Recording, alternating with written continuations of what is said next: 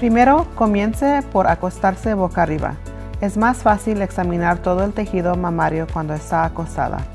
Coloque su mano derecha detrás de su cabeza. Con los dedos medios de la mano izquierda, presione suave pero firmemente hacia abajo con pequeños movimientos para examinar todo el seno derecho. Luego, siéntese o párese y palpe su axila en busca de bultos. Apriete suavemente el pezón, verificando si hay secreción que no sea leche materna o sangre.